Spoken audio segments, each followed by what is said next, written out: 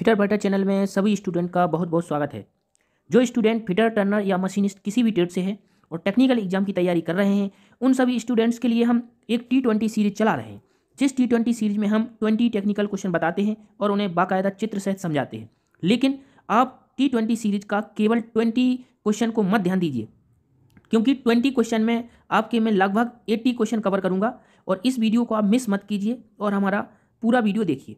यदि आपको T twenty series का मैं ये पाँचवा वीडियो अपलोड कर रहा हूँ तो यदि आपको मेरे पुराने वीडियो देखना हो तो आप हमारे चैनल पर जाकर के या इस वीडियो के डिस्क्रिप्शन बॉक्स में जाकर के हमारे पाँचों वीडियो देख सकते हैं, जो मैंने टी ट्वेंटी सीरीज़ में अपलोड किया है। यदि आप नए हों तो हमारे चैनल फिटर फाइटर को सब्सक्राइब करें तो आगे आप टी ट्वेंटी सीरीज़ का आनंद ले सकते हैं और क्वेश्चन कम पढ़ करके अधिक क्वेश्चन का आनंद ले सकते हैं। हम क्वेश्चन स्टार्ट करते हैं। आज का जो हमारा पहला क्वेश्चन है, निम्न में स्थायी ड्रिलिंग मशीन कौन सी होती है? अब हमें इसमें सबसे पहले तो हमें अपने क्वेश्चन का आंसर बताना है, फिर इसके बाद हमें और अदर क्वेश्चन बताने हैं। तो स्थायी ड्रिलिंग मशीन कौन सी होती है? तो सबसे पहले हमें यह समझना पड़ेगा कि ड्रिलिंग मशीन कितनी प्रकार की होती है। तो ड्रिलिंग मशीन हमारी दो प्रकार की होती है। एक ड्रिलिंग मशीन ऐसी होती है जिसे हम एक जगह से दूसरी जगह ले जा सकते हैं और एक ड्रिलिंग मशीन ऐसी होती है जो अपनी जगह पर स्थिर रहती है। तो जो अपनी जगह पर स्थिर रहती है उसे स्थायी ड्रिलिंग मशीन कहते हैं और जो एक जगह से दूसरी जगह जाती है उसे हम पोर्टेबल ड्रिलिंग मशीन कहते हैं। तो स्थायी ड्रिलिंग मशीन हम देख लेते हैं इसमें से। पहला तो जो पोर्टेबल है, पोर्टेबल वाली तो एक स्थान से दूसरे स्थान पर जाती है, ये नहीं होगी। हैंड ड्रिलिंग मशीन जो होती है, एक भी, ये भी एक जगह से दूसरी जगह चली जाती है। रेचेट ड्रिलिंग मशीन भी होती है, जिसको हम रेल की पटरियों पर एक जगह से दूसरी जगह ले जाते हैं। तो हमारी लास्ट में जो बचा हुआ यही हमारा आंसर होगा स्टेशनरी ड्रिलिंग मशीन। तो सबसे पहले हमें स्टेशनरी को समझना पड़ेगा। स्टेशनरी का मतलब होता है रुका हुआ। जो एक जगह पर रुका हुआ रहता है, उसे हम स्टेशनरी कहते हैं। वो जो चलता है, उसे हम डायनेमिक डायनेमिक कहते हैं। तो ये दो शब्द याद कीजिए। स्टेशनरी का मतलब होता है रुका हुआ। और डायनेमिक का मतलब होता है चलने वाला। तो डायनेमिक शब्द आपको कई जगह मिल जाएगा। अब हमें पोर्टेबल में एक बात बताना पड़ेगी। हमारा आंसर डी आंसर हो गया, लेकिन हमें ये तीन ऑप्शन भी समझाना पड़ेंगे, तभी हम ट्वेंटी क्वेश्चन में एट्टी क्वेश्चन कवर कर पाएँगे। जो हमारी पोर्टेबल ड्रिलिंग मशीन होती है, ये हैंड ड्रिलिंग मशीन टाइप में ही होती है, इसे हम एक जगह से दूसरी जगह ले जा सकते हैं। जैसे मान लीजिए रेचेट ड्रिलिंग मशीन भी एक प्रकार की पोर्टेबल ड्रिलिंग मशीन होती है, जो थर्ड नंबर पर लगी इसका उपयोग रेट रेल की पटरियों पर जगह जगह ले जाने के लिए करते हैं और इससे हम बीस एम तक की ड्रिलिंग कार्य कर सकते हैं रेचेट ड्रिलिंग मशीन में। हैंड ड्रिलिंग मशीन जो होती है, ये हैंड ड्रिलिंग मशीन होती है, इससे हम छः एम तक का ड्रिल कर सकते हैं, जो दूसरे नंबर पर दिया गया है। इसमें हमें किसी भी इलेक्ट्रिकल पावर की ज़रूरत नहीं होती। जो हमारी पहले नंबर पर लिखी गई है पोर्टेबल पोर्टेबल का मतलब होता है एक जगह से दूसरी जगह ले जाना। तो इस तरीके से हम और क्वेश्चन भी कर सकते हैं समझ करके और इस क्वेश्चन का आंसर हमारा फुट आंसर था। नेक्स्ट क्वेश्चन हम करते हैं। हमारा जो नेक्स्ट क्वेश्चन है पोर्टेबल ड्रिलिंग मशीन में कितने व्यास तक का ड्रिल बांधा जा सकता है? जो हमारी पोर्टेबल ड्रिलिंग मशीन होती है, उसमें हमें ये बताना है कि कितने व्यास का ड्रिल हम बाँध सकते हैं। जो इंग्लिश वाले बच्चे हैं, वो इंग्लिश करके थोड़ा कर सकते हैं, लेकिन इंग्लिश में थोड़ा मिस्टेक हो सकता है, क्योंकि मैं हिंदी मीडियम वाला हूँ तो इसलिए थोड़ा बहुत मिस्टेक हो सकता है। पर आप इतना भी मिस्टेक नहीं होगा कि नहीं समझ पाओगे। How many diameter drill are tied in a portable drilling machine यानी कि हम कितने ब्याज तक का ड्रिल हम पोर्टेबल इलेक्ट्रिक ड्रिलिंग मशीन में बाँध सकते हैं? तो अब इसमें देख लीजिए। सबसे पहले मैं इसका आंसर बताऊँगा। तो इसका जो आंसर होगा, इसका फ़र्स्ट आंसर राइट आंसर होगा। हम पोर्टेबल इलेक्ट्र जो इलेक्ट्रिक ड्रिलिंग मशीन होती है, जी, हमारे जो क्वेश्चन में पूछी गई है, इसमें हम 12 एम mm तक का व्यास का ड्रिल बाँध सकते हैं। तो हमारा इस क्वेश्चन का आंसर होगा फ़र्स्ट आंसर हम ये जो नीचे ऑप्शन लिखे गए इनको भी मैं बता देता हूँ। जो हंड्रेड एम mm दिया है दूसरे ऑप्शन में, जो हमारे इस क्वेश्चन का आंसर नहीं है, लेकिन किसी क्वेश्चन का आंसर है वो होगा रेडियल डीलिंग मशीन एक हमारी रेडियल डीलिंग मशीन होती है। रेडियल डीलिंग मशीन में जो हम हाईएस्ट सौ एम एम ब्यास का ड्रिल बाँध सकते हैं, जिसका नंबर एम टी सिक्स होता है। एम टी सिक्स नंबर जो होता है, वो सौ एम एम तक का रहता है। इसका ट्वेंटी एम इसमें दिया गया है। ये भी किसी क्वेश्चन का आंसर है। वो है ratchet drilling machine ratchet drilling machine में हम बीस एम व्यास तक का ड्रिल कर सकते हैं, क्योंकि जब दो पटरियाँ रहती हैं रेल की पटरियाँ इस तरीके से तो उन दो पटरियों को जब जोड़ा जाता है तो बीस एम की एक रिविट या बोल्ट को डालकर हम दो पटरियों को कनेक्ट करते हैं। तो ये रेचेड ड्रिलिंग मशीन रेलवे की पटरियों में यूज़ होगी तो एक मोटी सी पिन डालते हैं, जिसका व्यास बीस एम होता है। तो अगर ये बीस एम आंसर पूछा जाएगा तो ये रेचिड का होगा ऑल इसका आंसर हो नहीं सकता। हम नेक्स्ट क्वेश्चन करते हैं light duty electric drilling machine कितने बोल्ट पर चलती? ये क्वेश्चन आप सोच रहे होगी कि इसमें बोल्ट हमने पूछा है तो क्या इलेक्ट्रिशियन का क्वेश्चन है? तो दोस्त जितने भी हमारे टेक्निकल एग्ज़ाम होते हैं, इसमें कुछ क्वेश्चन फिटर के इलेक्ट्रीशियन में आ जाते हैं, कुछ क्वेश्चन इलेक्ट्रीशियन के फिटर में आ जाते हैं। इसलिए कोई मतभेद नहीं करना है, आपको कुछ इलेक्ट्रीशियन का भी सीखना पड़ेगा। मैं अगले कुछ दिनों के बाद एक फिटर वाले बच्चों के लिए मशीनिस्ट टर्नर के लिए एक इलेक्ट्रीशियन का वीडियो डालूँगा। तो उससे आप इलेक्ट्रीशियन की भी थोड़ी सी जानकारी ले सकते हैं। तो इसका जो है light duty electric drilling machine कितने बोल्ट पर चलती है तो हमें इसका बोल्ट बताना है। तो ये बोल्ट लिखे गए हैं तो ये इसका जो आंसर होगा वो 110 से 120 वोल्ट होता है, जो हमारी light duty electric drilling machine होती है। और जो heavy duty electric drilling machine होती है, जो बारह एम या बारह एम से अधिक का ड्रिल बाँध सकती है तो उसका आंसर होगा दो सौ बीस से दो सौ पचास। तो हमारे खैर इस क्वेश्चन का आंसर हो जाएगा। सेकेंड आंसर या बी आंसर राइट आंसर हो जाएगा। हैवी ड्यूटी दो सौ बीस से दो वोल्ट पर काम करती है। अठारह वोल्ट जो मैंने लिखा, ये भी किसी क्वेश्चन का आंसर है, लेकिन फीटर में शायद ये क्वेश्चन ना हो। ये हमारा आंसर होता है जो 18 वोल्ट की, आज के समय में जो मोबाइल के चार्जर आ रहे हैं, वो 18 वोल्ट के आ रहे हैं। और जो 440 वोल्ट जो लिखा हुआ है, ये 440 वोल्ट हमारी जो घर की सप्लाई रहती है रजिस्टर्ड रहता है, वो 440 वोल्ट के जो है करंट हमारे यहाँ आता भले ही चार वोल्ट का ना आता हो कम आता है, लेकिन जो लिखा हुआ रहता है वो फाइव एम्पियर और 440 वोल्ट का जो रजिस्टर्ड होता है कि हमारे जो सप्लाई रहती है। नेक्स्ट क्वेश्चन हम करते हैं। एक क्वेश्चन का आंसर आप देख लीजिए। पेट्रोलियम या विस्फोटक सामान की फैक्ट्री में किस ड्रिलिंग मशीन का प्रयोग किया जाता है जहाँ बिजली नहीं होती है? अब आपके माइंड में एक ज़रूर बात आ रही होगी कि पेट्रोलियम अर्थात पेट्रोल जहाँ से निकल रहा है, विस्फोटक सामान या बारूद जिस तरीके से निकाली जाती है, जैसे जो बारूद भरती है जो गोलों में तो उसकी फैक्ट्री है तो भाई उसकी फैक्ट्री कहाँ होगी? भाई कहीं ना कहीं तो फैक्ट्री होगी, जहाँ पर हम पेट्रोल को निकालेंगे नीचे से और हम बारूद को निकालेंगे जिससे हम बड़े बड़े जो है गोले बनाएँगे। तो उसमें यदि हम इलेक्ट्रिक ड्रिलिंग मशीन का यूज़ कर लेंगे तो इलेक्ट्रिक ड्रिलिंग मशीन से जो हमारा इलेक्ट्रिक का जो चिंगारी होगी, इससे ब्लास्ट हो सकता है। तो ब्लास्ट होने से हमें बचाना है और ड्रिलिंग तो करना ही है भाई, काम तो करना ही पड़ेगा। तो इसलिए वहाँ पर जहाँ पर हमें ये काम करना है या दूसरा इसमें लिखा जहाँ बिजली ना हो पहला तो मैंने काम बता दिया कि जहाँ पर विस्फोटक सामान हो, पेट्रोल हो, या फिर ऐसी जगह जहाँ पर बिजली ना हो तो वहाँ पर हम कौन सी डीलिंग मशीन का उपयोग कर सकते हैं? देख लीजिए, pneumatic drilling machine, electric live electric electric का तो हमें करना नहीं है। रेडियल डीलिंग मशीन भी इलेक्ट्रिक से चलती है और नॉर्मल डीलिंग मशीन भी इलेक्ट्रिक से चलती है। इसलिए हम इसका जो आंसर आंसर लगाएँगे, इसका फ़र्स्ट आंसर सही करेंगे। ये फ़र्स्ट आंसर, इसका राइट आंसर होगा। इसमें जो हमने तीनों बताए हैं, जो ये तीनों तो ये तीनों नहीं हो सकते हैं। तो इसमें जो फ़र्स्ट नंबर पर दिया है न्यूमेटिक ड्रिलिंग मशीन तो इसका आंसर जो होगा, ये न्यूमेटिक ड्रिलिंग मशीन होगा, क्योंकि ईयर के द्वारा चलाई जाती है और इसमें दूर किसी बाहरी प्लेस पर, वहाँ पर हम कंप्रेसर के द्वारा हवा को उत्पन्न करते हैं। जहाँ पर हमें काम करना है, वहाँ पर बिजली का कोई काम नहीं रहता, पाइप के द्वारा जाता है, जो मैं एक वीडियो में अभी दिखा दूँगा, इसका फ़र्स्ट आंसर राइट आंसर हो जाएगा।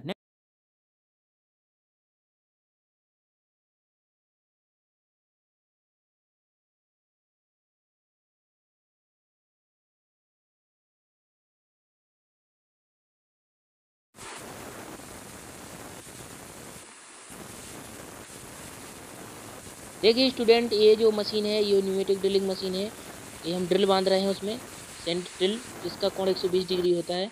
ये हमने ड्रिल बांधा और ये पाइप लगाया हमने। जैसे ही पाइप को लगाया हमने तो जिसमें ईयर आ रहा है, देखिए आवाज़ आ रही है और ये ड्रिलिंग प्रक्रिया हो रही है। तो ईयर के द्वारा चलता है, देखिए आपको दिखाई दे रहा होगा, हवा एकदम उड़ता हुआ धूल के साथ दिख रहा है। तो ये न्यूमेटिक ड्रिल मशीन होती है, जिसके द्वारा हम विस्फोटक सामान या किसी जहाँ पर लाइट की व्यवस्था ना हो जहाँ पर आग लगने का डर हो वहाँ पर हम न्यूमेटिक ड्रिलिंग मशीन का उपयोग करते हैं। ये ड्रिल हवा के द्वारा चल रहा है घूम घूम के। आप खुद ही हवा की आवाज़ इसमें सुन रहे हैं। हो जाएगा। नेक्स्ट क्वेश्चन हम करते हैं। क्रिया जो है न्यूमेटिक ड्रिल मशीन में करते फिफ्थ नंबर का क्वेश्चन है निम्न में अलग विकल्प पहचानो। इसमें हमें देखना है कि इसमें डिफरेंट ऑप्शन कौन सा है। तो इसमें पहले नंबर पे दिया है सेंसिटिव ड्रिलिंग मशीन दूसरे में दिया पिलर ड्रिलिंग मशीन, तीसरे में दिया इलेक्ट्रिक ड्रिलिंग मशीन और चौथे में दिया गैंग ड्रिलिंग मशीन। आपको अब कैसे इसमें देखना है? या तो इसमें आप देखिए ब्यास के हिसाब से या स्थायी होने के हिसाब से देखिए, जो मैंने अभी स्टेशनरी बताया था। तो जो सेंसिटिव ड्रिलिंग मशीन होती है, ये हमारी फिक्स होती है स्टेशनरी हो गया। और दूसरे नंबर का प्लेट प्लेट ड्रिलिंग मशीन भी स्टेशनरी हो गया। तीसरे नंबर पर इलेक्ट्रिक ड्रिलिंग मशीन और गैंग ड्रिलिंग तो गैंग ड्रिलिंग मशीन भी स्टेशनरी होती है तो हमारा बचा इलेक्ट्रिक ड्रिलिंग मशीन तो इसका जो अलग विकल्प है थर्ड विकल्प अलग विकल्प हो जाएगा, क्योंकि ये पोर्टेबल होता है, ये स्टेशनरी नहीं होता है। तो इसमें ये थर्ड ऑप्शन अलग ऑप्शन हो जाएगा। नेक्स्ट क्वेश्चन हम करते हैं। गेंग ड्रिलिंग मशीन में कितने स्पिंडल होते हैं, इसको बहुत अच्छे से आप समझिए। गेंग ड्रिलिंग मशीन और मल्टी इसमें जो हमारी मल्टी स्पिंडल ड्रिलिंग मशीन होती है, इसमें कई सारे स्टूडेंट बहुत कन्फ्यूज़न में रहते हैं तो मैं एक वीडियो इस क्वेश्चन के बाद एक वीडियो दिखा दूँगा आपको, जिससे आपको समझ में आ जाएगा। लेकिन ये आप समझिए गेंग का मतलब अभी समझिए गेंग का मतलब होता है जिसमें एक से अधिक होता है तो इसमें हमारे जो स्पेंडल होते हैं वो दो से आठ होते हैं तो इसका फ़र्स्ट आंसर राइट आंसर हो जाएगा। इसमें दो से आठ क्यों बनाए जाते हैं? जो आपको वीडियो से देख के पता चल जाएगा, इसमें क्या होता है कि हम इसमें दो क्रियाएँ, तीन क्रियाएँ, चार क्रियाएँ लाइन से कर सकते हैं, लेकिन हमें उतने ही ऑपरेटर चाहिए। जैसे दो स्पिंडल हैं तो दो ऑपरेटर चाहिए, तीन स्पिंडल है तो तीन ऑपरेटर चाहिए, क्योंकि अलग अलग स्पिंडल अलग अलग ऑपरेटर पकड़ के चलाएगा और अलग अलग सब में मोटर रहेंगी। अब इसमें जो है, एक स्पिंडल किसमें होता है? दूसरा ऑप्शन दिया है। तो जो नॉर्मली ड्रिलिंग मशीन होती है, चाहे वो रेडल ड्रिलिंग मशीन हो बेंच ड्रिलिंग मशीन हो और प्लेट ड्रिलिंग मशीन हो, उसमें एक ही स्पिंडल होता है। चाहे वो हैंड ड्रिलिंग मशीन हो इलेक्ट्रिक ड्रिलिंग मशीन सब में एक स्पिंडल होगा। चार से अड़तालीस स्पिंडल जो होते हैं, ये हमारी मल्टी स्पिंडल ड्रिलिंग मशीन होती है, उसमें चार से अड़तालीस स्पिंडल होते हैं। सौ स्पिंडल किसी ड्रिलिंग मशीन में नहीं।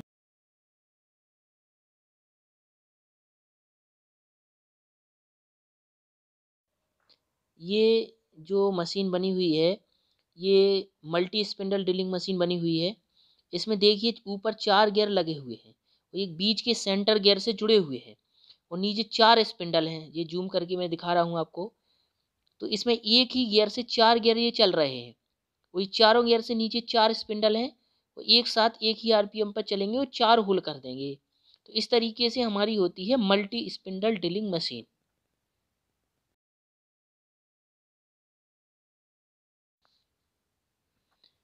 प्यारे स्टूडेंट, ये जो हमारी मशीन है, ये चार स्पिंडल लगे हुए हैं, जो मैं दिखा रहा हूँ। ये गेंग डीलिंग मशीन है, ये गेंग में खड़े हुए चारों, लेकिन चारों के लीवर देखिए अलग अलग हैं। इसमें एक ही लीवर से नहीं चला सकते हम।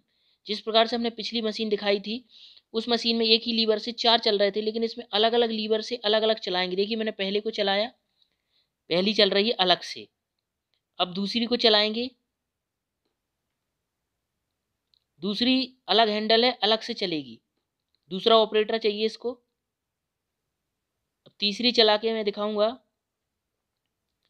ये ये तीसरी का जो है स्पिंडल है, ये तीसरी, ये चल रहा है, देखिए।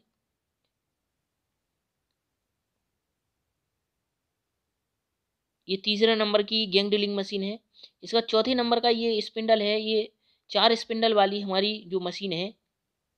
गैंग डीलिंग मशीन उसमें दो से आठ स्पिंडल हो सकते हैं इसमें। और चारों पे अलग अलग ऑपरेशन कर सकते हैं अलग अलग हैंडल होते हैं। ये जो आरपीएम की टेबल है इसकी आरपीएम लगभग इसमें बयालीस सौ हाईएस्ट करते हैं इसको हम चला सकते ड्रिलिंग मशीन की स्पीड किन किन बातों पर निर्भर करती है? जो हमारी ड्रिलिंग मशीन कितनी स्पीड पर हमें चलाना है कम पर चलाना ज़्यादा पर चलाना तो एक क्वेश्चन बहुत ही इंपॉर्टेंट है जो हर एग्ज़ाम में आता रहता है इसको मिस नहीं करना है। कि जब हम ड्रिल का ब्यास अधिक कर देते हैं तो स्पीड कम हो जाती है और जब हम कम ब्यास कर देते हैं तो स्पीड अधिक हो जाती है। तो ब्यास पर निर्भर करता है तो इस पर ब्यास दिया है। देखिए, इसमें दूसरे नंबर पर ब्यास दिया है तो इसका दूसरा आंसर राइट आंसर होगा, लेकिन हमें अभी सभी दिया है। देखिए, इसमें चौथे में सभी दिया है तो हमें ये फोकस करना पड़ेगा कि इसके दूसरे आंसर तो कहीं सही नहीं है। हार्डनेस ऑफ़ मेटल, इसमें फ़र्स्ट में हार्डनेस दिया है तो ये भी बात सही है, इस पर भी निर्भर करता है। जब हार्ड मटेरियल होगा तो हमें स्पीड कम रखना पड़ेगी। या कम ही स्पीड पर हम इसको चला सकते हैं। कूलेंट का कूलेंट पर भी निर्भर करेगा, क्योंकि कूलेंट से हमें टूल को भी ठंडा करना पड़ेगा। इसलिए दोस्त, जब भी सभी ऑप्शन हो तो हमें सारे ऑप्शन को पढ़ना है, ध्यान रखना है। तो इसका answer all answer right answer हो जाएगा। Next question socket head screw के हेड को स्थान देने के लिए कौन सी क्रिया करते हैं? सॉकेट हेड स्क्रू सबसे पहले हमें सॉकेट हेड स्क्रू समझना पड़ेगा। सॉकेट हेड स्क्रू इस तरीके का रहता है। ये नाइन्टी डिग्री में इसका हेड होता है इस तरीके से इसका ऊपर ऐसे राउंड रहता है, इसमें हेक्सागोनल स्लॉट होता है ऊपर, जिसे हम एल एन की लगाकर खोलते हैं इधर इधर इस तरीके उस ऊपर इस तरीके का स्लॉट रहता है हेक्सागोनल ये स्लॉट जिसमें हम एल एन की ऐसे एल जैसी एक होती है, उसे एल एन की लगाकर हम इस स्क्रू को टाइट करते हैं, खोलते हैं। तो ये नाइन्टी डिग्री का जो हेड होता है, इसको हमें बिठालना पड़ता है, सतह से ऊपर उभरा हुआ ना रहे तो इसके लिए हमें नाइन्टी डिग्री में होल को बड़ा करना पड़ेगा। नाइन्टी डिग्री में होल को बड़ा करने के लिए इसमें जो क्रिया दी गई है, कुछ गहराई तक, इसे हम काउंटर बोरिंग कहते हैं तो इसका थर्ड आंसर राइट आंसर हो जाएगा। लेकिन हमें और क्रिया भी समझना पड़ेंगी। हम समझा देते हैं। स्पॉट फेसिंग जो होता है, जब ड्रिलिंग कार्य क्रिया करते हैं तो जब ड्रिल होल आर पार होता है तो उसके दूसरे सिरे पर छोटे छोटे बर उभर आते हैं, जिससे कभी बोल्ट को हम कसते हैं तो बोल्ट का हेड बैठता नहीं है, इसलिए हम उसके ऊपर के स्पॉट को साफ़ कर देते हैं। ये आप स्पॉट से समझेंगे। स्पॉट का मतलब होता है कोई खुरदरी सतह। तो स्पॉट को फेस कर देना, अर्थात उसकी फेसिंग कर देना,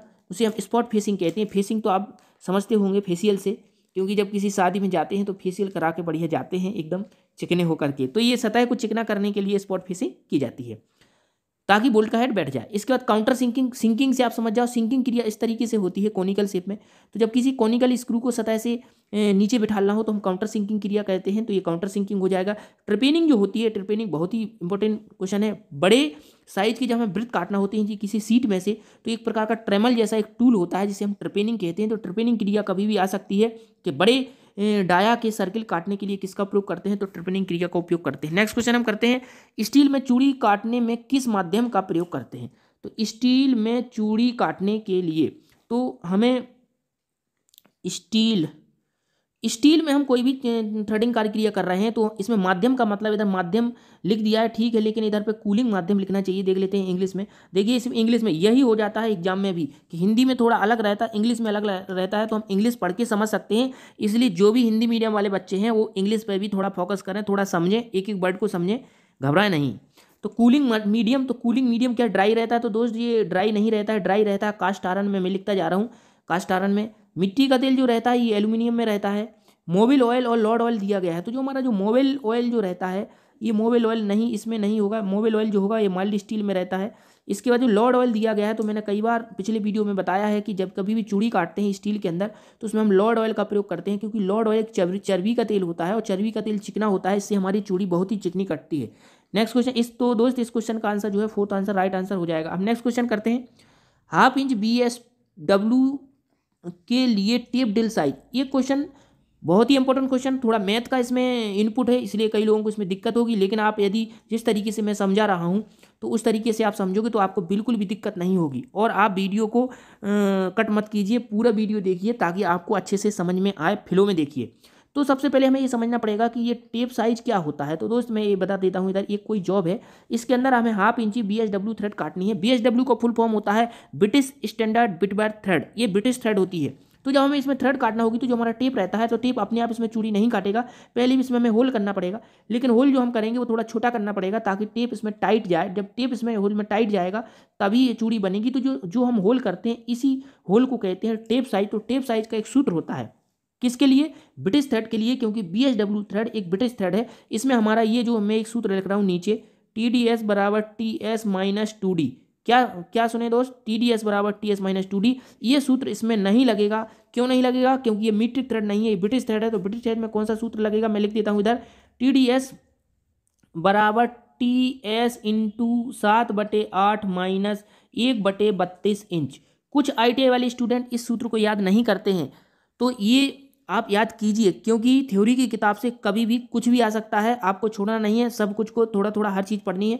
अब इसकी हम वैल्यू रखेंगे टेप साइज़ की अगर एक बटे दो रखेंगे तो हम इधर एक बटे दो इंटू सात बटे आठ और माइनस एक बटे बत्तीस इंच करेंगे, इसको मैं हल कर रहा हूँ धीरे धीरे आराम से। अब ऊपर ऊपर का गुणा होगा और नीचे नीचे का होगा तो सात का ऊपर होगा तो सात आठ का नीचे हो जाएगा आठ दूनी सोलह। अब इस माइनस एक बटे बत्तीस, अब इसको हमें हल करना है आगे। आगे मैं हल करके बता देता हूँ आपको। इसको हमें हल करना है, ये भिन्न बन गई है हमारी। तो इसको मैं हल करता हूँ।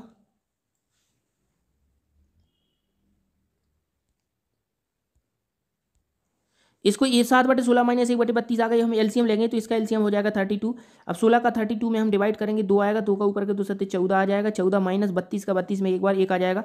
अब चौदह में से एक चला जाएगा तो तेरह बटे बत्तीस आया, इसका आंसर जो आया, तेरह बटे बत्तीस आया। आप चाहो तो इसको पेन कॉपी से भी हल कर सकते हैं तो इसका फ़र्स्ट आंसर राइट आंसर हो जाएगा। हम जो होल करेंगे वो तेरह बटे बत्तीस का करेंगे। अब आप सोच रहे होगे कि हमारा एक बटे दो जो साइज़ था, इससे तेरह बत्तीस बत्तीस तो बड़ा दिख रहा है।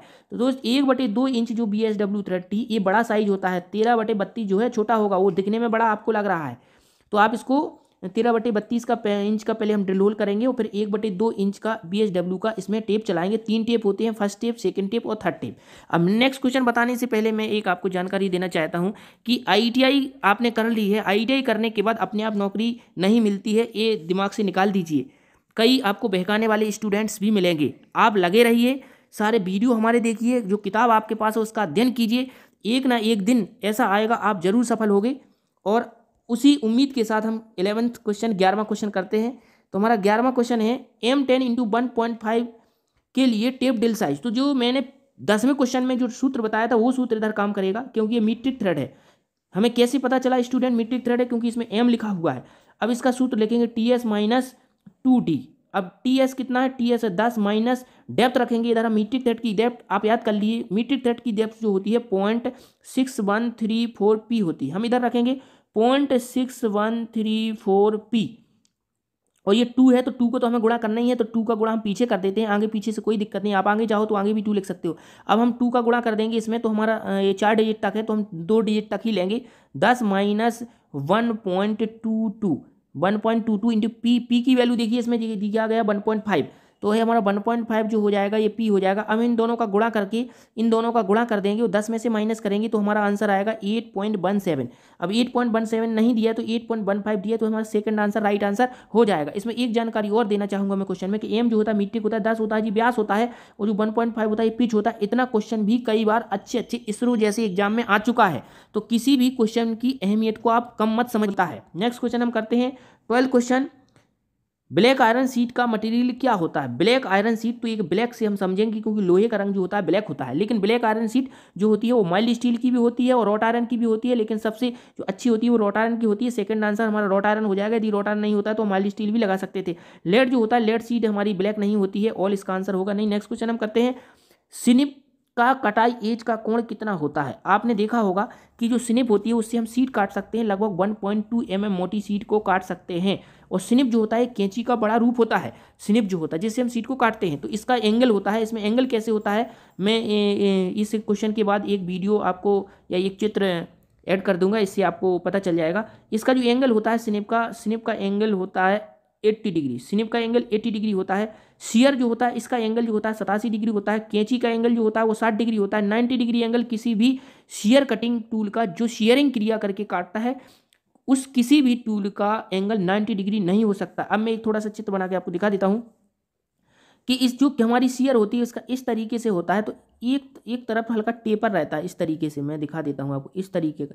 इसका जो कटिंग एज होता है, हल्का सा किनारे से तिरछा रहता है, तिरछा नहीं होगा तो सीरिंग सीयरिंग कार्यक्रिया नहीं कर पाएगा। नेक्स्ट क्वेश्चन हम करते हैं, बड़े रेडियस ये इसमें क्वेश्चन में दिया है, पढ़ लीजिए, बड़े रेडियस या बाहरी कर्व किस स्निप से काटना संभव है? Big big radius in external curve cutting in which snip यानी हमें बड़े रेडियस को काटना है और स्निप को काटना है स्निप के द्वारा काटना है तो कभी भी कोई भी बड़ा रेडियस होता है इस तरीके का, या कर्व्ड सतह होती है, बाहरी कर्व्ड सतह तो ये बेंड स्निप से नहीं कटती है। बेंड स्निप से काटने से वो स्निप का जो मुँह होता है, अंदर घुस जाता है। जैसे मान लीजिए हम ये बेंड स्निप से इस तरीके से काट रहे हैं, बड़े रेडियस को तो ये इस तरीके से काटेगा तो इस तरीके से हमें नहीं काटना, जिस तरीके से मैंने ये बना, बनाया है इधर पर इस तरीके से काटना गलत है, क्योंकि इसकी जो चौंच होगी, मुँह की अंदर घुस जाएगी तो बड़े रेडियस काटने के लिए स्टेट स्निप का प्रयोग किया जाता है। फ़र्स्ट आंसर हो जाएगा, छोटे रेडियस का आंसर बेंड स्निप हो जाएगा, दोनों इसका आंसर होगा। नहीं, हम नेक्स्ट क्वेश्चन करते हैं फिफ्टीन क्वेश्चन सिनिप किस क्रिया से कटाई करता है? ये क्वेश्चन को अभी मैंने इसका आंसर पिछले क्वेश्चन में बोल दिया है कि कोई भी स्निप, कैंची, सियर, ये तीनों यंत्र जो होते हैं ये क्रमानुसार जो कटिंग कार्य क्रिया करते हैं, जैसे कैंची है सियर है स्निप है। तीनों का मैं बोल रहा हूँ बार बार साठ डिग्री, अस्सी डिग्री, सतासी डिग्री। तो ये तीनों के एंगल अलग अलग होते हैं। ये इसकी थिकनेस धीरे धीरे बढ़ती चली जाती है, क्योंकि आपको मालूम है कि जब कटिंग एज का एंगल बढ़ता है तो अधिक मोटी सीट को, अधिक हार्ड सीट को भी काट सकता है। तो कैंची से हम कपड़ा काटते हैं तो इसका साठ डिग्री होता है। और इसका स्निप से हम अस्सी डिग्री होता है, इससे हम सीट को काटते हैं। और सतासी डिग्री सीयर का होता है, इससे हम आठ एम मोटी सीट को भी काट सकते हैं। इससे वन पॉइंट टू एम काटते हैं, इससे हम कपड़ा काटते हैं कि या इससे हम किसी पॉलीथीन वगैरह को काटते हैं। तो इसमें जो क्रिया होती है, वो शेयरिंग क्रिया होती है। शेयरिंग क्रिया क्या होती है? जिसमें सीट को दबा दबा कर काटा जाता है, जिसमें कोई भी चिप्स वगैरह नहीं निकलते, उसे हम शेयरिंग क्रिया कहते हैं। ड्रिलिंग क्रिया होल करने के लिए की जाती है। बेंडिंग क्रिया सीट को मोड़ने के लिए की जाती है। फोर्जिंग क्रिया जो आपको गर्म करके पीट पीट की जाती है, फोर्जिंग क्रिया कहते हैं। नेक्स्ट क्वेश्चन हम करते हैं। सीट मेटल में जॉब को सहारा देने वाला टूल है सीट मेटल जो होता है, उसमें सीट को अलग अलग आकार में बनाया जाता है। चाहे वो हमारी फनिल हो या कोई हमारा बॉक्स हो तो उसको सहारा देने के लिए एक माध्यम होता है जिसे हम स्टेक कहते हैं। स्टेक एक छोटे प्रकार की एनबिल होती है। जो एनबिल लिखा है, इसका उपयोग हम फोर्जिंग शॉप में उपयोग करते हैं, जो अभी मैं बताया हूँ। हैमर जो होता है इसमें सीट पर चोट लगाने के लिए उपयोग करते हैं। स्क्रैच आवल जो होता है, इससे इस तरीके का यंत्र होता है कि हैंडल लगा होता है, उसमें नोकदार टूल रहता है, इसका एंगल जो होता है, ये पंद्रह से बीस डिग्री होता है। ये गहरी लाइनें खींचने के लिए हम स्क्रैच आवल का प्रयोग करते हैं। स्क्राइबर भी एक लाइन खींचने वाला होता है, लेकिन स्क्राइबर से नॉर्मल लाइन खींचती है, स्क्रैच आवल से गहरी लाइन खींचती है। तो इस तरीके से हम बहुत सारे क्वेश्चन को मेमोरी में रख सकते हैं। नेक्स्ट क्वेश्चन, सीट की ओवरलैपिंग को बचाने के लिए किसका प्रयोग करते हैं? जब हम कोई सीट से कोई पार्ट को बनाते हैं तो उसमें क्या होता है, जब हम सीट को मोड़ते हैं तो सीट तर के ऊपर चढ़ जाती है। कैसे चढ़ जाती है? जिस तरीके से कोई हमारी किताब है, इस तरीके से। और इस किताब पर हम कवर चढ़ाते हैं तो जब हम कवर चढ़ाते हैं तो हमारा कवर ऐसे चढ़ता है, ऐसे तो इधर पे फोल्ड होने लगता है बीच में। तो इस बीच में फोल्ड होने लगता है जो हमारा पेपर तो उस पेपर को हम इस किताब पर कवर चढ़ाते हैं तो पेपर को काट देते हैं बीच से, ताकि जब हम किताब खोलते हैं, बंद करते हैं तो ओवरलेपिंग नहीं होती है। तो इसी तरीके से सीट की ओवरलेपिंग से बचाने के लिए उतनी सीट को हम हटा लेते हैं। तो उस हटाने को बोलते हैं नोचना। जिस तरीके से किसी नोच को हटाया जाता है, नोच के किसी चीज़ को हटाते हैं, नोचते हैं। नोचना आप लोग बहुत अच्छे से जानते होंगे। तो इसको बोलते हैं नोच। सीट की ओवरलिपिंग से बचाने के लिए सीट को नोच लिया जाता है बीच से तो उसे नोच कहते हैं। हेम जो होता है, ये ये भी सीट मेटल में यूज़ होता है। इसमें सीट के किनारे को मज़बूत बनाने के लिए हेम किया जाता है। जिस तरीके से हम किसी कपड़े में तुरपाई डालते हैं किनारे से, इसी तरीके सीट को मोड़ दिया जाता है। जैसे बाल्टी के किनारे मुड़े हुए रहते हैं, उसे हम हेम कहते हैं। एक सीम होता है। सीम ये सीट के ज्वाइंट को हम सीम कहते हैं, जिस प्रकार से दो सीटों को तर के ऊपर रखकर जोड़ा जाता है, उसे हम सीम कहते हैं। सीम ही एक प्रकार का ज्वाइंट होता है, जो फोर्थ ऑप्शन में लिखा हुआ है, दोनों एक ही चीज़ होती है। नेक्स्ट क्वेश्चन हम करते हैं। वी नोच कितने डिग्री पर बनी होती है? नोच जो होती है अलग अलग डिग्री पर भी बनी होती है तो जो हमारी वी नोच होती है इसको मैं आपको बता देता हूँ, ये 90 डिग्री पे होती है। कैसे होती है? जैसे ये सीट है तो ये 90 डिग्री में हमने स्लॉट काट दिया। तो इस सीट को जब हम मोड़ना होगा तो ये सीट इधर से हम मोड़ेंगे, ऐसे उठाएँगे इसको इस तरीके से, ऊपर की तरफ़ हम हाथ लगा के उठाएँगे तो ये दोनों ये ग्रुप होगा, ये नाइन्टी डिग्री ग्रुप भर जाएगा, वो हमारी सीट जो है नाइन्टी डिग्री में इस तरीके से नाइन्टी डिग्री में खड़ी हो जाएगी एक ग्रुप इधर मैच कर जाएगा।